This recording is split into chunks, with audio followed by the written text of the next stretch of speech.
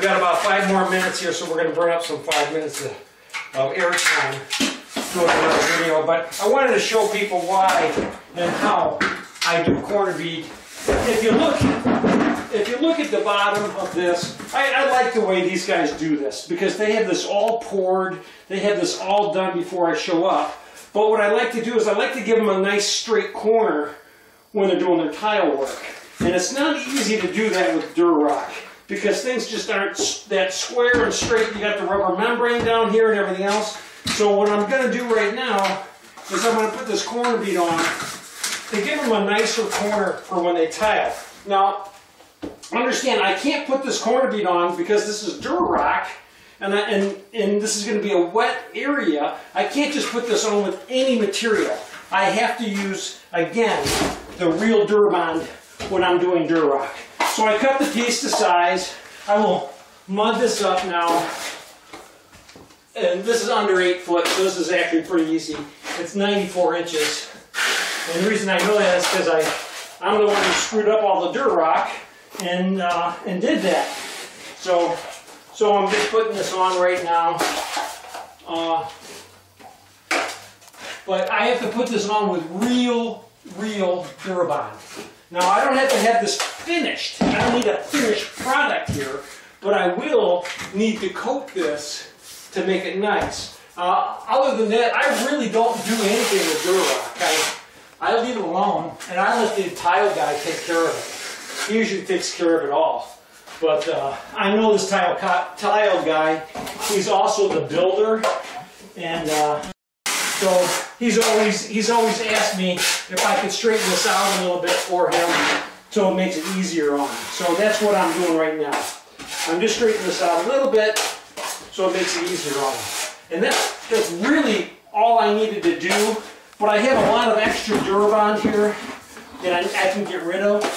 So I'm going to run that real quick. Just, just, uh, just a quick coat. Not, nothing, Nothing big. I'm just going to put a 6. I'm just going to use a 6 here. I'm not using a uh, 10 or 12 on here, but I'm just going to put a, just a quick coat on here. Something like that. It helps them out.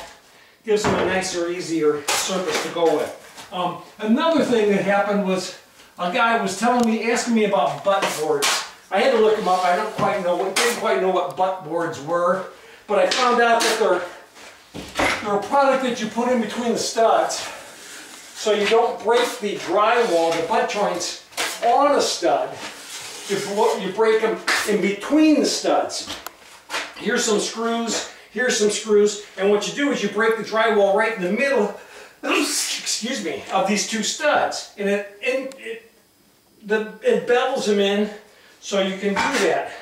But I was watching this guy's video on it, and he he had a ceiling that was like 30 feet by 24 feet, and he put all of the butt joints in the same line. So he hung like, uh, what, five or six, no, five, six, he hung like six uh, sheets this direction, six sheets this direction, and had them all breaking at the same place. You don't do that with butt joints. There's two reasons. One is if you're breaking them on a, on a ceiling truss or a floor joist, there's really hard to get rid of a full-length butt joint. But even with the butt boards, when you're recessing them, it sure, it's, it's going to look great. It's going to look nice and flat. It's going to look great. But you've taken away all the integrity of the strength of that ceiling. If you stagger those butt joints, put one here, one here, one here, one here, throughout, and you don't run them all in the same line, if you can see this wall right here, I have one butt joint here, I have one butt joint, you know, one, two, three, four studs away. The other butt joint there. The wall's much stronger that way. It is a much stronger wall. If I had them all lined up in the same row and this house shifted at all or moved at all, I would have no strength on this wall. But it's got to give it that butt joint, it's got to give it this butt joint. They're two you know, they're, uh, what, three feet away from each other, and this wall is way stronger than had these butt joints being put in a line. That's why you stagger butt joints. Gives the wall more integrity, more strength.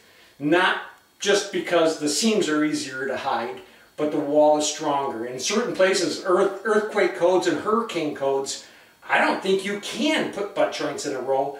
I don't know. If you can, they need to rethink it because they've taken away a lot of the integrity of the wall. All right? You guys have a great day. I want to thank you for watching. Um, I hope it's educational. I hope you've learned something.